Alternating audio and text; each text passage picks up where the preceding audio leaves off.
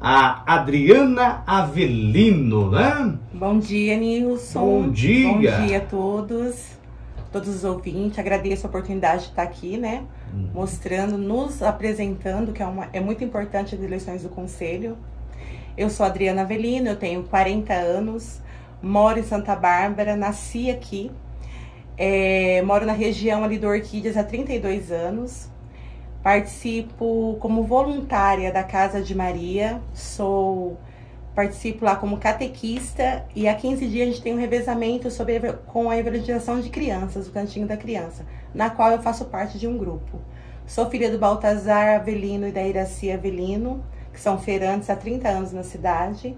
Irmã, tenho irmãos, a Beatriz e o Romerita Avelino, que também atuam aqui na cidade. Sou pedagoga, formada em Pedagogia e Letras, atuo na educação há 15 anos. Foi por conta disso, de trabalhar como voluntária, de estar na uhum. educação, que me despertou essa vontade de ser conselheira tutelar. Por conta da importância do conselheiro, né? Certo. Então, você faz esse trabalho social, então isso é, foi a motivação principal, né? Que despertou aí, como você bem disse, é, concorrer a uma dessas é, cinco vagas disponíveis é, para é, titular né, do Conselho Municipal, é, Conselho Tutelar. Agora, há, há, há, quanto tempo que você disse que você faz esse trabalho social aí na comunidade? Olha, na paróquia São Paulo Apóstolo, hum. eu atuo lá já tem uns 15 anos, ah, mais ou menos. Tempo. Bastante tempo, uhum. né? Como eu disse para você, eu moro no Orquídea faz 34 anos. Então, desde pequena eu participo ah, da comunidade. É barbarense mesmo? Sou barbarense. Ah. E na Casa de Maria desde quando é, iniciou o Sim Sim Não Não, né? Eu faço o revezamento com outro grupo. Cada 15 dias a gente faz o revezamento. Para não ficar muito cansativo, que é muita criança, a demanda é muito grande. Sim. E na educação eu trabalho há 15 anos. Eu iniciei como agente de organização escolar no estado.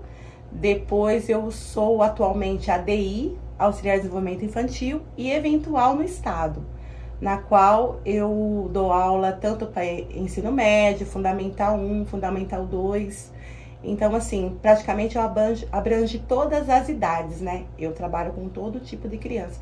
E vendo também na escola, porque o professor tem esse olhar, né? Sim, ele nota, pedagoga. Né? É, ele nota que a criança não tá bem, algo tá errado. Certo. E é bom a gente ressaltar que o conselho tutelar não é só para aqueles casos graves de abuso, agressão. Uhum. Também quando você precisa de uma vaga, você o conselho, o conselho intervém numa vaga de escola. Um trabalho orientativo junto Sim, à família, né? A escola. Uma consulta também junto com a saúde, junto com, a, com o sistema policial. Então, assim, é um é um trabalho que a gente trabalha em conjunto. É a sua primeira eleição, Adriana? Oh, na verdade, Você... eu me candidatei na outra. Ah, é? Mas ah. mais a critério de experiência. Sim, sim. Mas eu nunca fui eleita. Agora é a minha segunda tá. vez que eu estou me candidatando. Uhum. Dessa vez eu estou trabalhando, né? A primeira vez foi mais questão, questão para a gente ver como que funciona, como que é. E aí eu resolvi encarar de frente, porque é um trabalho que, como pedagoga, eu sou limitada. Mas como certo. conselheiro tutelar, eu posso estar... Tá à frente. Então agora é com você, né? O seu pedido, né, para convencer então, vamos lá. Né, a população Sim. a ir na urna e divulgue o seu número, peça o seu voto.